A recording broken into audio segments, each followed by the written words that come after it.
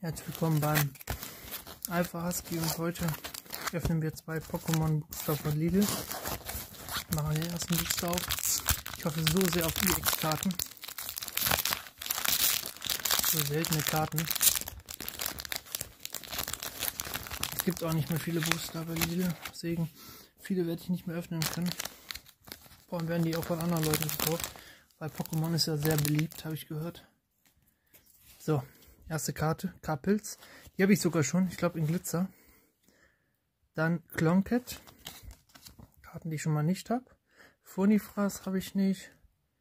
Voldi habe ich nicht. Irgendeine Trainercard. In dem Fall Dicke Freude Knurf. Oha, Eisenrad. Noch eine Trainercard, verpackte Bestellung.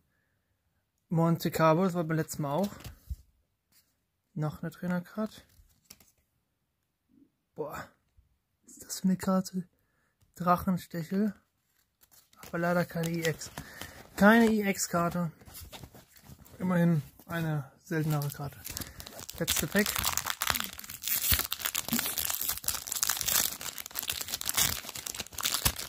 Haben wir ja wieder Glück und ziehen im zweiten, zum nächsten, zum zweiten Mal sozusagen wieder eine richtig nice Karte. Weil die sammle ich, die X-Karten. Die anderen Karten für mich nicht so interessant. Noctu. Schlurpeck. Fängt schon mal nicht schlecht an. Tyrakrok, ja. Mit Methan. Oh, starke Karten bis jetzt. Scarabax. Auch stark. Boah, Eisenhals.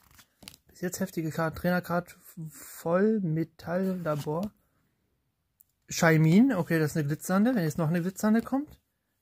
Das ist leider nicht der Fall. Deswegen ist es auch leider keine EX-Karte. Ne, das war's. Keine EX. Erstmal keine EX. Pech gehabt.